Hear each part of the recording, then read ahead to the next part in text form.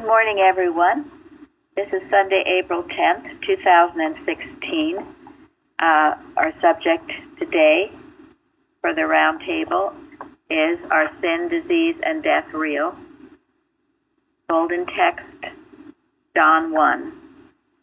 All things were made by him, and without him was not anything made that was made.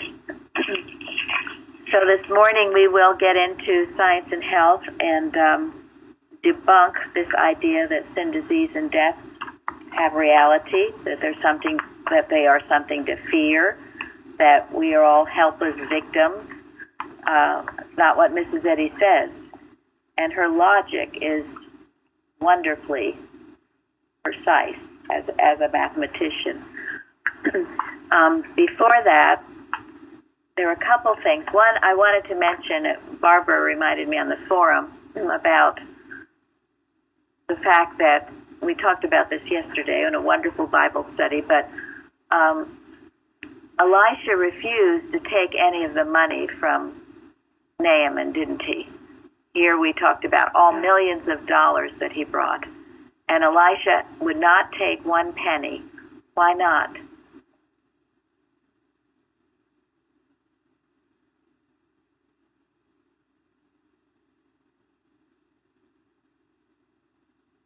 Because he was doing it to honor God. Yes. And it was the opposite of, I mean, the, all the money and everything was the opposite of the humility that the prophet required of Naaman. Yes. In another instance, in the story of the Shunammite woman, uh, she offered him a, a place to stay, you know, lodging and all that. He he accepted it. But in the case of Naaman, he did not. I'm He sure he, prob- he probably could have used it, right? Who couldn't have used it? He wanted probably What to was make the a motive? point. Go ahead, Lar. No, I was Okay. going to say done out of what? Good done out of what? It's Naaman's, of course. There was so much pride in it. It's um, I'm may, maybe thinking I'm able to buy this healing, in in a sense. Um, Yes. The humility with which, with the love and humility with which you bring something, like the Shunammite woman, that's acceptable. But not the other. Yes. I- Thank.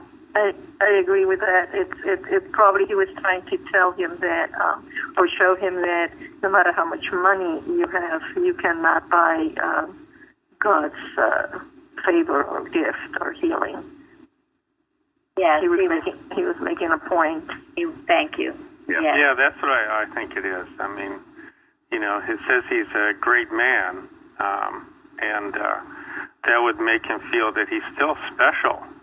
He's a great man. He needs something. He can have someone do something for him. So he's still a great man. It's all about himself. Thank you. Exactly. It would have ruined the whole point he was making. It was also an example to all the poor people that didn't have piles of money. That's right. It was an example.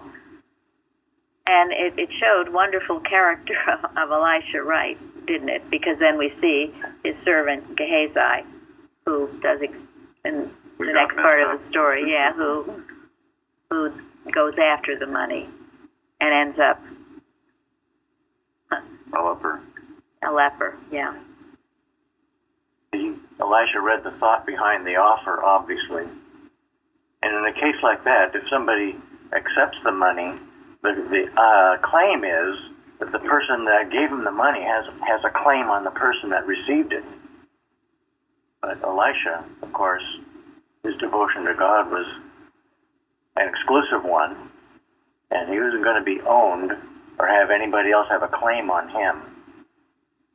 It reminds me of Mrs. Eddy's statement, and I don't have an exact quote, that she could never, ever repay her debt to God. After all she had done,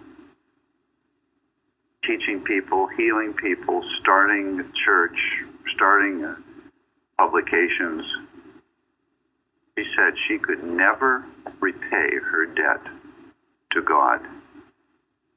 If Elijah had, had taken this money from Naaman, Naaman might have felt that he had repaid his debt. And that would have misled Naaman. And truly, all the money in the world uh, is nothing compared to being free of leprosy. So um, it, it was a major point that I meant to make yesterday, and one to consider in your own life.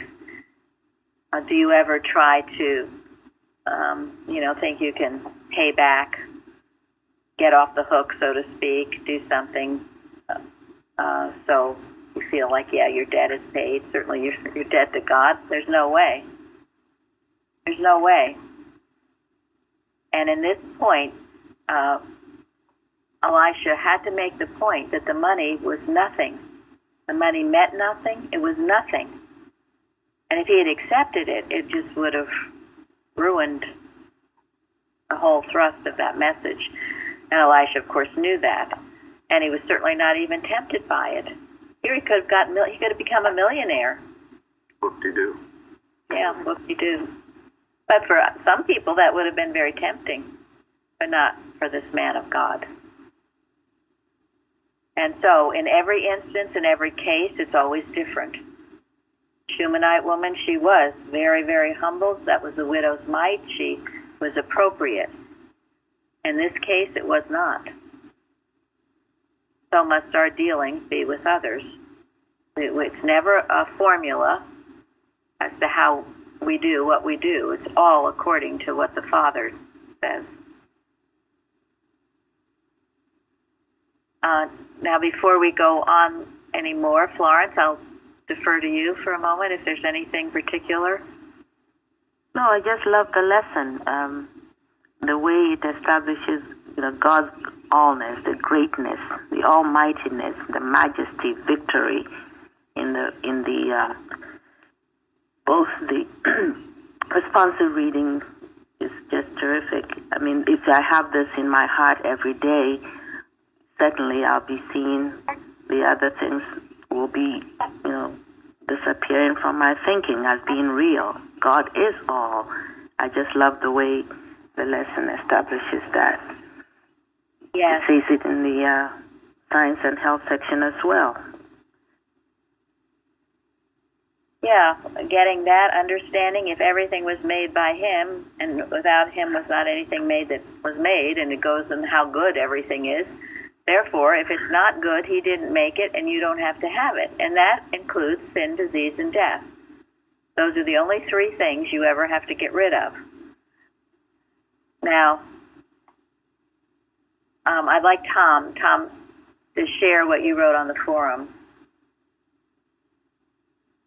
Um, sure. So actually, it was something I've been thinking about for a while, and uh, I was reading uh, Martha Wilcox and uh, ran across this. It uh, was a section on excerpts uh, from her writings. So here's what I wrote on the forum. Sometimes I read how Christian science is a method of healing, or it is called, you know, this healing science, etc. As if the primary focus is healing. I think this is misleading and hides the true purpose of Christian science. I was reading Martha Wilcox, and she wrote about this in a way I was thinking. A quote Christian scientists are not primarily engaged in demonstrating over sin, disease, and death, but they are earnestly endeavoring to establish as their thought the principle of divine science in which such misconceptions have no being. Thank you. Very good. That puts it in a nutshell. Thank you, because that's, you know, it is true why people come to science. They are usually seeking these healings. They're focused on the healings. Uh, and yet, that isn't, it's not really what it's all about. Uh, the other I'd like have have read, if someone can pull up this past week's watching point.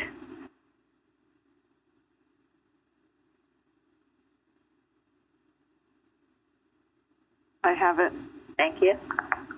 Go ahead, read it, Linda. It's Watch 196.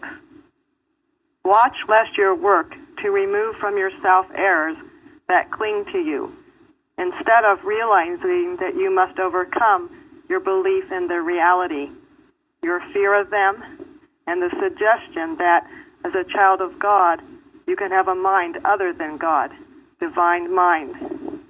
Then they fall away of their own accord. Iron filings adhere to a coil of wire through which an electric current is flowing. When the current is shut off, the iron fillings fall away. In the like manner, the various manifestations of error cling to us because of our belief in the reality of error. When our sense of the reality of error is overcome, its manifestations fall away of their own accord. Thank you. This points out the, the necessity not to believe in their reality. If you believe in the reality, you're forming that electric current that's going to keep them clinging to that to you in belief. You know, Mrs. Evans used to give the description of a of a ship out in the ocean covered with barnacles, and when the ship would come into the fresh water, the barnacles could no longer cling to the ship and they would fall off. So it is with false beliefs. When you get yourself into the fresh waters of truth, all of these false beliefs that these things are real and that they can kill you and harm you and all of that, they fall off. You understand that they're, it's not true. And the great part is you can prove it by degrees each day in your life. And I'm sure most of you, if not you, do. So remember this. Remember that the, the error is coming to you for life, and you are giving it life in believing in it. If you believe in it, you believe in power apart from God. Therefore, you are believing.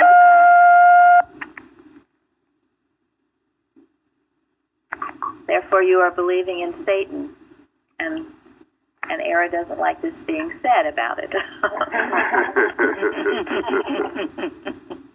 Doesn't want you to hear the truth. it, it's it's basic uh, logical thinking, and along with the logical thinking must, along with the science, must come the love and the compassion as well. Christian science. But it's all part of the logic behind the whole thing. The fact that God is all is is essential. But the other fact is that God is 100% good. There is no evil in it. There's nothing wrong in it. There's no mistakes in it. So if we seem to experience something wrong or evil or a mistake, it's not of God. And if that is uppermost in my thinking, I'll be able to wash the barnacles away. Because that's the truth that destroys the error. You can't destroy an error that you believe is real. And if you do believe it is real, then you believe that there is another power apart from God fighting with God. And you might as well, you should go to doctors. You, you know, this, this is the basic tenet of science. And, and the wonderful part of it is that it is provable. You can prove it. And you take it bit by bit as you understand it. And the more you understand it, and as Florence brought out on the forum, the two essential uh, things that you have to have for healing are what? What it what was required of Naaman? Humility. Humility and obedience. Humility and obedience. And if you fight with God and you refuse to obey and you refuse to uh, lay down your preconceived notions or your old theology and say, "Oh no, no, no, no, this is real," and I, and you know I'm a victim, and there's nothing I can do about it. Maybe God will come down and swoosh with a magic wand, and and I'll get better. But all of these things are real. Well, you've got two things warring with each other. Either you believe Genesis 1 or you don't. And if you don't, that's okay. But that's not Christian science. Christian science takes Genesis 1, and God saw everything that He had made, and behold, it was very good. Now I'm going to read a little. I've mentioned to you the article Body by Mrs. Eddy. It goes along with what we're have talked about. She says, We do not handle substance through our personal thought to change it. We only see, according to our thought, our degree of enlightenment. Walt Whitman said, The world is jagged and broken to him whose is jagged and broken, to him whose mental realm is dark. If one's thought is ignorant and unenlightened, it changes his vision as a cloud of mist. As he looks through the cloud, he sees this world, the body, all things distorted, abnormal, and wrong. If the mental atmosphere is dark and dense, we see but dimly and are not able to perceive the perfection that is. Man does not by mental effort bring God into manifestation. Neither does he, through wrong thinking, prevent God's manifestation. God is, and God is manifest, and it is not in the power of unenlightened personal thought or mental effort to obstruct or hinder the activity of God, or to mar or to deface the perfection of God's creation. So, we see through a glass darkly, and these are the beliefs. This is, these are the barnacles that have to fall away. And as your thought becomes more enlightened to the truth, the things that you once thought were real and scary and making you sick and feeling miserable, and man, you could tell because you were really sick. Boy, were you ever sick? Don't tell me you weren't sick. Well, I'm sure you were sick, but but as you as your thought lifts and you declare that God didn't make this and that you don't have to have it, then the mist dispels. The, the mist, it's the mist in the second chapter of Genesis, isn't it? The mist came up and the Adam dream began. Now, what also, we talked about it yesterday too, is the, the thought that um, wonderful healings occur in science, but it is natural, all right? It is natural.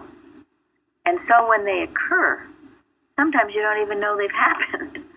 And, and you'll think, oh, well, I wasn't really sick anyway. Or that was a coincidence. Or maybe you've even forgotten about it. I know this because it's happened to me.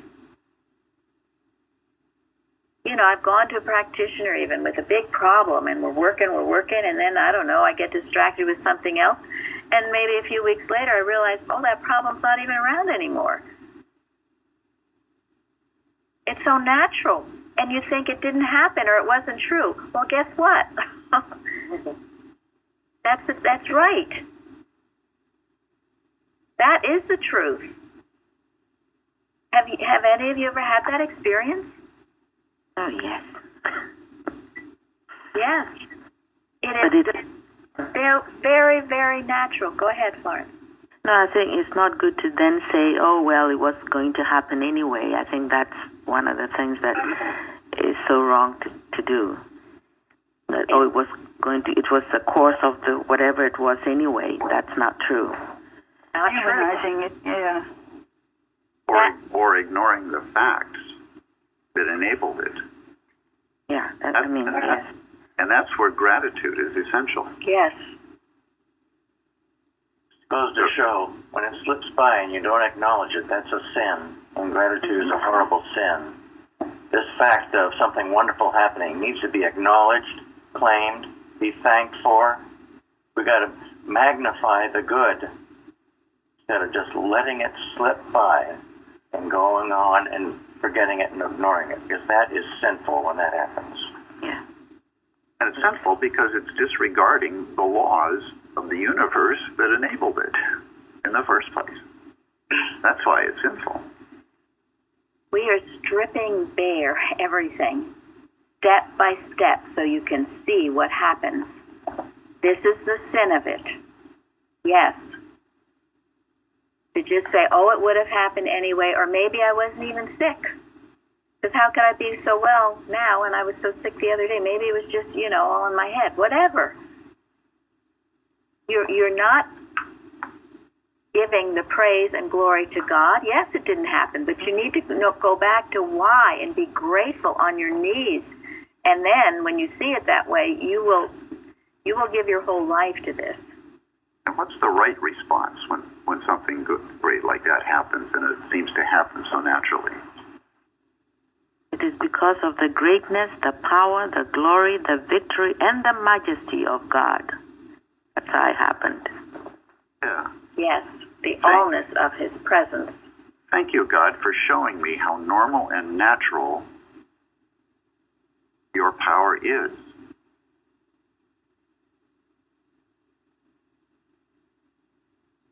Just as Naaman wanted to see Elisha perform wonderful works, you know, he's going to come out of the house and who knows what was going to happen. And then he was going to give him millions of dollars for performing this feat. Uh, and he didn't even come out of the house. He sent a simple message. Jump in a dirty river seven times, for Pete's sake. I mean, he put it he put it into not supernatural or miraculous, but just let's have a little humility and obedience on your part, Naaman, and then the healing will come. And You know, uh, go ahead. Oh, I just want to say uh, uh, the Jordan River, uh, I think, does look muddy. It reminded me, uh, it's a it's a hugely smaller than the Mississippi, but the Mississippi looks really muddy, and the Jordan River kind of looked that way too. When I saw people in there uh, going through the baptism, I thought, do they really want to be in that water? yeah, well, Naaman didn't. That's what Naaman thought. Yeah. So, as you seek whatever healing you're seeking, remember these things. And, and don't focus on the healing. Focus on a closeness, a desire to love and know God more, to understand Him better, to get rid of these false beliefs that would have you think that there is a power apart from God that is used against you. I mean, if you were the devil, wouldn't that be what you would like? Believe in me. I am real. And I will prove it to you. And so it seems to be.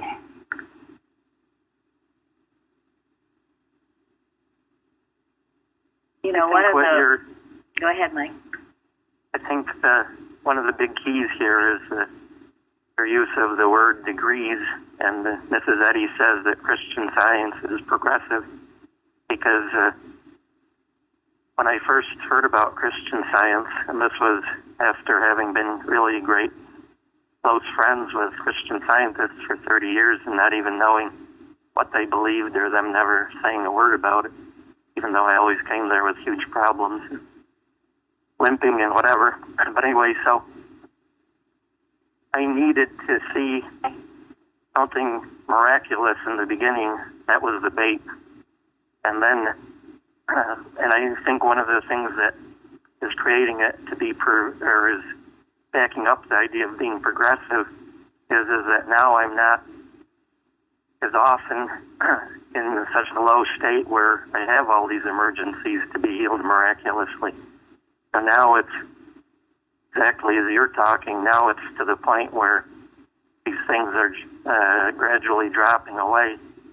And uh, even though that was something I hoped for 10 years ago when I first came into Christian Science, now they're finally dropping away, and it's uh, just wonderful and grateful for that.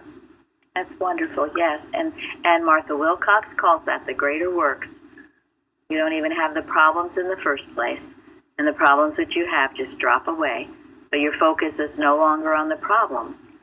On it's on God. And and this is where we get into the mesmeric nature of it. The more you think about it, the more you focus on a problem, what happens? Yeah. The more you keep that electric current going, that keeps those iron filings attached to you. Yes. and that's just what it wants. And that's what most of the world does. They think about it, they Google it, they study it on the internet, they they go to doctors, they talk to all their friends about it, they think about it, they and you don't think that's worshiping another god besides the one God?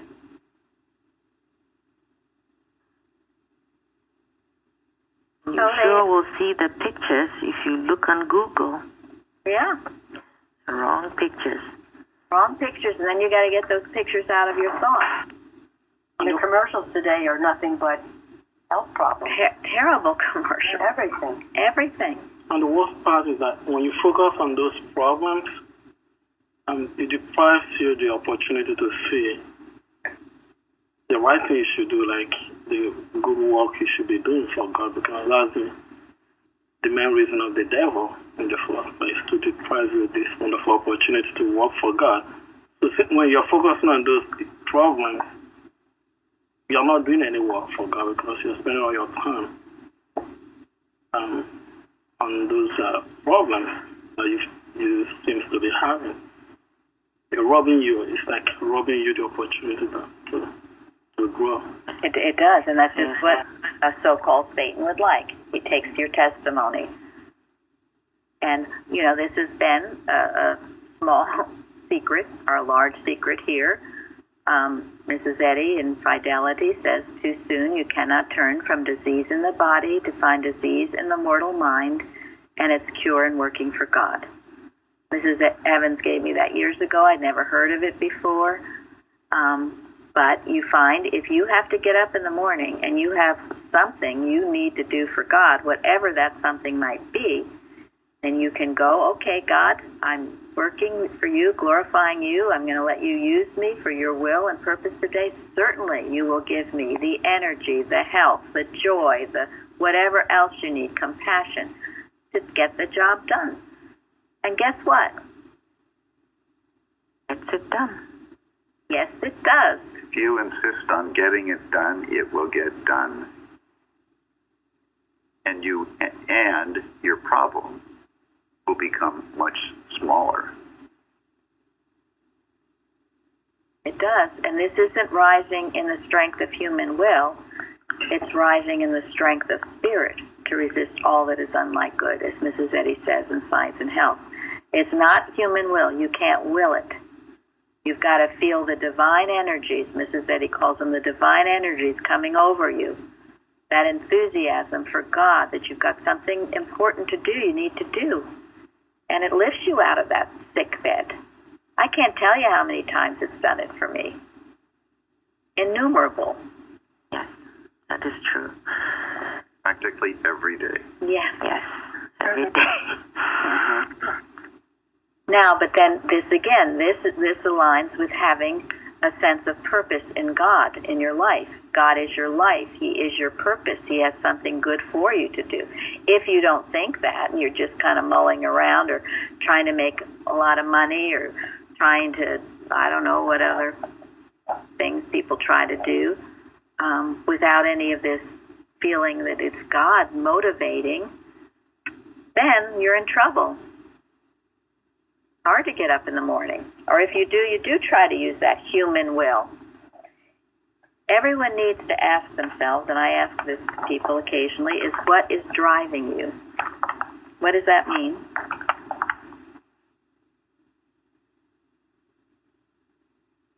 What's making you do, do the things you're doing? What's behind your acts and thoughts? Yes. Your So, motive. What is your highest desire? What, what's the carrot that you're Yeah. running after? and when you see people running and rushing, they're being driven. Or if you see people just being lazy, procrastinating, they're being driven in another sense of that word. So be honest and ask yourself what drives you? Who's in the driver's seat? What are you rushing to? What are you pushing for? What are you shoving about? Or why do you not even care? What, what, what is motivating you? Your motive has to be from God because He is your life. And if you haven't found that motive yet, you have no life. And you are in the Adam dream and you will stumble around, either too fast or too slow. Sin, disease, and death will seem very real. Yes, they will. But if you if you wash your slate really really clean and decide that something here God I, God is using me. I'm not God, but God is expressing himself through me. Something that I need to do today through him with him. And everything changes. Everything. Because he is your life. Now, that statement that we all like and we quote often is that truth, life, and love are a law of annihilation against anything unlike itself. So, what does that mean? That might not be the exact quote, but it's close. close. What does that mean? For they declare nothing. Yes, for they declare nothing but God. Elizabeth wrote on that in the forum, I think.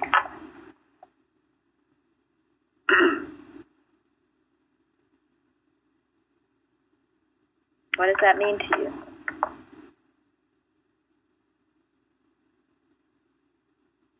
Hello?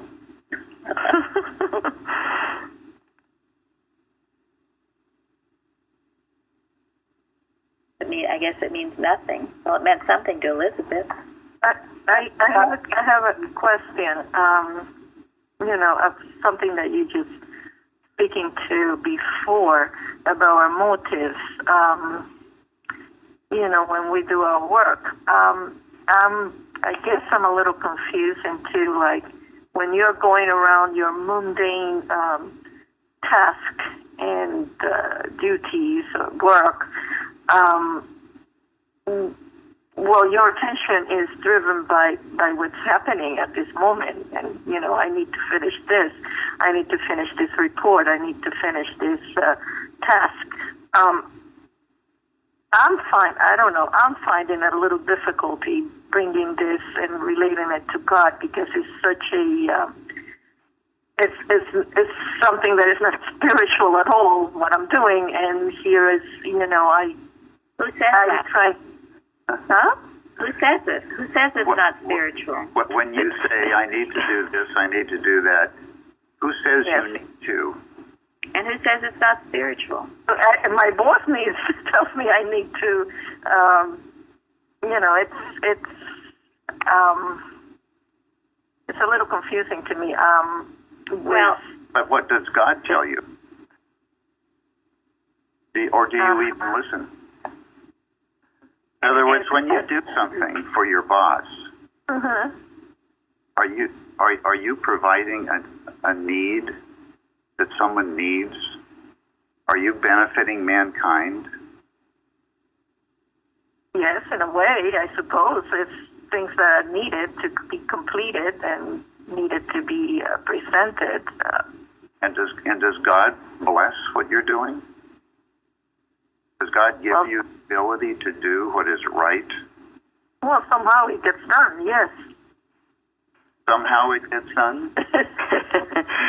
Somehow, huh? Somehow. Well, I think the quickest approach is to say, I am doing this with God's help. There's nothing mundane. But no matter our work, no matter what is it, what it is, garbage, you know, collecting garbage, whatever it is, if it's to bless mankind in any way, it is mm-hmm. of God. We have to do it with our whole heart and do it right. I, I I'm saying this because even in my work, I, you know, so-called, it was a, you know, maybe more spiritual, like you taking care of people. It got to a point where it was becoming like a, a mundane thing, day in, day out, day in and day out, until I woke up to the fact I am working for God. And it changed the whole thing. It changed my whole attitude for going to work, and it brought more more joy in, in doing what I was doing. So it doesn't matter what it is that you're doing at the moment. If you're doing it to bless mankind, after all, it says um, in Science and Health something about the love for God and man is a true incentive. I quoted that right, something like that anyway. So healing and teaching. Yes. But yes, so uh, it's it's about blessing, you know, others, glorifying God in whatever I'm doing. That's it. You say it's mundane. You make it mundane. It's not mundane. Anything you do, you can either do it with the glory and power and might of God, or you can be miserable and oh, I hate doing this, and so oh, God got to do it every day. That's damn laundry or whatever. and each time you do it, it's not the same thing. no, it It's a shouldn't be. different situation. It's not the same. I always think of remember the seven dwarfs, whistle while you work. Oh, I love that. Don't see it as This is- mundane. See it as. Go ahead. I'm sorry, go ahead. And, and see your boss ultimately as God. He is the one you work for. You look look above the head of your boss and know you're working for God, and therefore you do it in the best, highest possible way you can, no matter how boring it might seem to be. You are performing a service to somebody somewhere. Let it be the best. Let it be for the glory of God. Because when you do that, somehow it will get done really, really well. And you'll feel a lot and better. you'll feel a lot better about it. And your boss will be very happy about it. I know in, in spiritual precepts uh, how it talks about how Mrs. Eddy wanted the people in her home that she had in her home to clean the room um, to to free it of the sullying presence of mortal mind. You know, sweeping up dirt is the sweeping up the, the sullied covering up of truth and love. I mean, everything should be was to be done Thank you. for that one purpose. Spir- spiritual interpretation of it. There's a beautiful watching point about that too. About a woman, you know, they were saying, "Oh, look what you have to do, all this mundane work all the day," and she said, "Oh no!" And then she talks about every little thing she does, the way she put the wood in the fireplace, and all the things she did. She saw it as a, a spiritual spiritual idea. It wasn't just some mundane task. That takes a little work to do and think of it that way, but why not think that instead of thinking how boring this is? Uh, you're always thinking something. There is no mundane work. Why would God make mundane work? Do you think all the beautiful plants and all the things that happen in spring and the all of that goes on in gardens and happens year after year, do you think it's mundane? It's miraculous. It's beautiful. And so it is with us. And Mrs. Eddy would often say her best workers were the little housewives who seemed to be, you know, standing at the stove, cooking, maybe doing mundane work, but they were praying, they were thinking correctly. Go ahead, Mike. Uh, I was just going to say that uh, Mrs. Eddy called one of the uh, uh, workers in and said that she needed to put more love into uh, her cooking. And uh, the funny thing is, is that I read that probably eight years ago, and uh, now as whoever had that question, finally this year, sometimes when I'm cooking, I'm thinking, okay, this is with the love of God. And sometimes I don't, but at least now I remember and try to go back to that. So it is, it's something that you have to work on and think of everything you do, which I don't yet, but everything you do comes from God. Yes, thank you. Yeah, And and as unto, and as unto the Lord. I mean, you know, like preparing a meal as unto the Lord. Yes. Right. And when you pay your bills, do you do you thank God for the service that was provided for you that you're paying for? When you go to work each day, do you, do you thank God for the opportunity to, to bless others? Do you, do you ask God to show you how to do your job better? And those flowers that come up in the spring, somebody had to get on their knees and plant them. And was that mundane? No, look what it blossomed into. And office work too. What does it blossom into? You never know. Never know who it will bless, where it goes. Cleaning. Think how the beauty when you get something sparkling clean. Um, yes, Mike said, your garden. yeah, all these things. Everything. I mean, for heaven's sake, you're God's image and likeness. You're capable of doing incredible things. God has given you abilities. Mrs. Eddy also says that man wasn't intended to till the soil, and that's, you know, part of this laborious working sense. Right. And as your thought ascends and rises, a lot of perhaps your work will become different. Uh, you know, we're not slaves building pyramids anymore. Uh, hopefully that won't happen ever again, but you never know. Anyway, the thing is, as, as your thought ascends, a lot of perhaps what you're doing ascends too. And certainly, whatever you're doing, you can make it uh, a spiritual opportunity. And this is what uh, the huge importance of the Carpenter books, reading the Carpenter books. And that was what fairly started this conversation with. What they did in Mrs. Eddy's home was always for the glory of God. They had to clean the carpets, they had to do everything perfectly, the food, all of it. Not humanly perfect, but demonstration with God.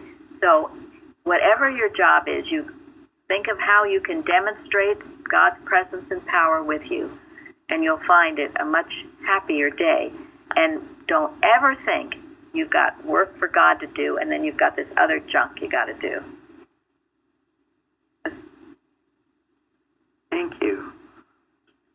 Before you do your job, ask God, what do you want me to do right now? How do you want me to do it? And that keeps your connection with God. Yes. That is something that this church has really taught me. Because, you know, there were times when I did think um, this is mundane and really, why do I have to do this? It's no, of no avail. What purpose is it for?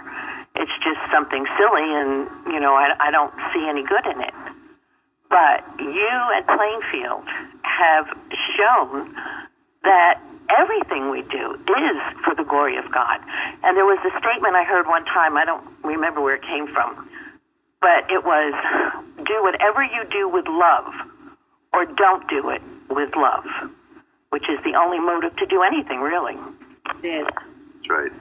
And it is that love that gets you up in the morning and makes you feel motivated.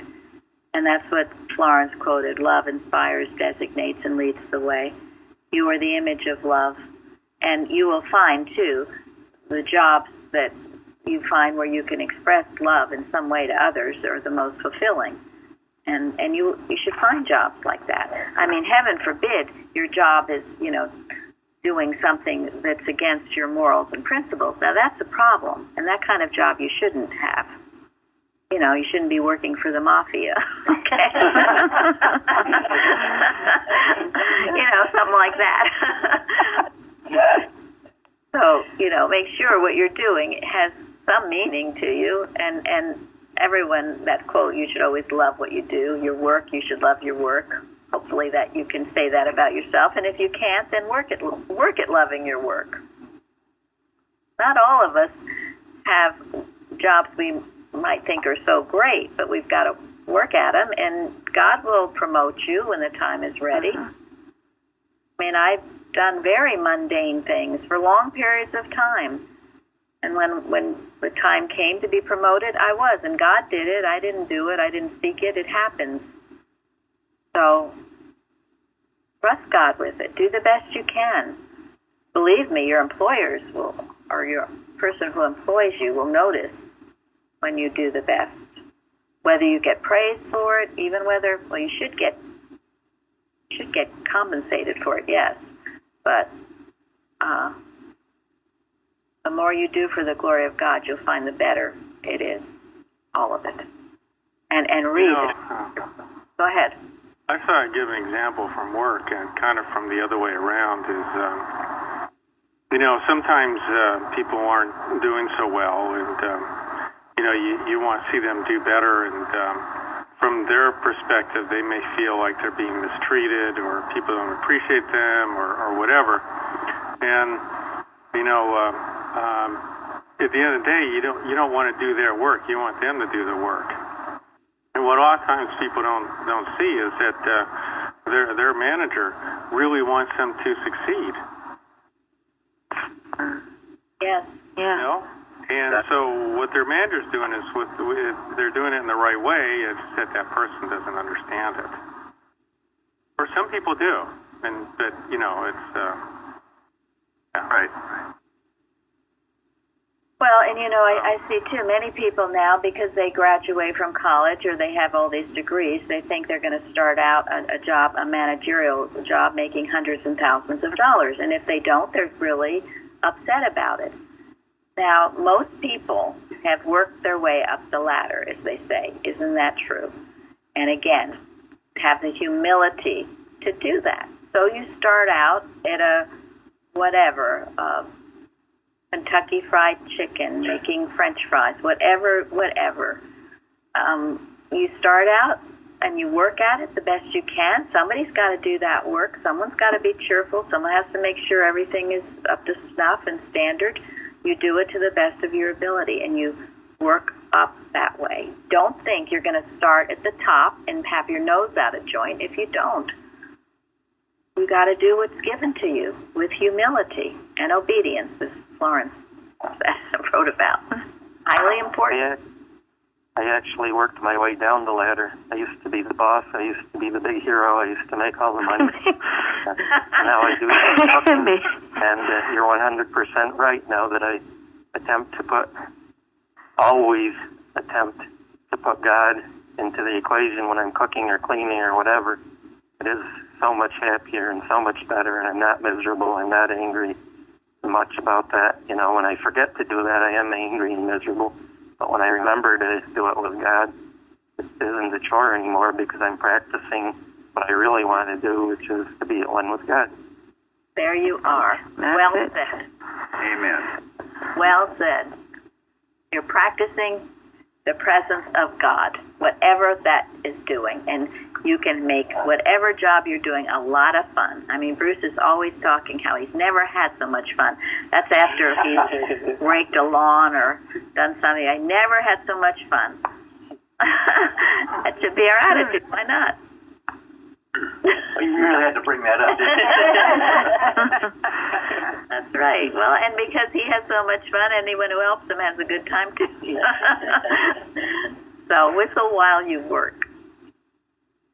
You know, and if wherever you are is not, you know, quite what you want to do because of what you believe in now, God will move you. You will be moved out of there.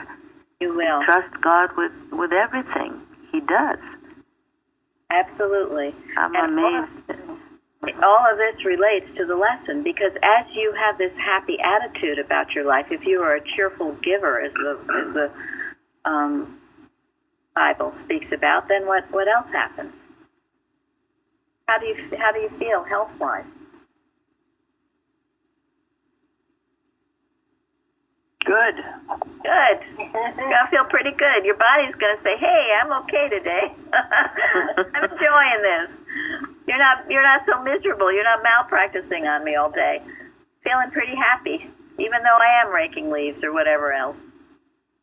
You feel that surge of life, who is God. Yes, cruising through you. So be your own best friend, not your worst enemy, and you will discover you will overcome these beliefs of sin, disease, and death. And this is why Christian science is not just about healing a sickness. It is your whole entire life, and that's what we talked about today. Everything, everything Christian science goes into every part of your life. And I'm going to end today what I ended with yesterday because I want you all to think about it because it's so important. It's on page 354 of Miscellaneous Writings, The Fallibility of Human Concepts. We once talked about it in one of our roundtables, that whole article. But Mrs. Eddy says six things a little more grace, a motive made pure, a few truths tenderly told, a heart softened, a character subdued, a life consecrated, would restore the right action of the mental mechanism and make manifest the movement of body and soul in accord with God. You've got some physical difficulty. Think on those six things. Beautiful statement. Amen. Yes, beautiful. Beautiful. So we will go forward and have a healing, powerful service that goes out to bless all mankind. All. And have a Lovely service. yes. God, God, God. Bye, everyone. Thank you. You're welcome. Thank you.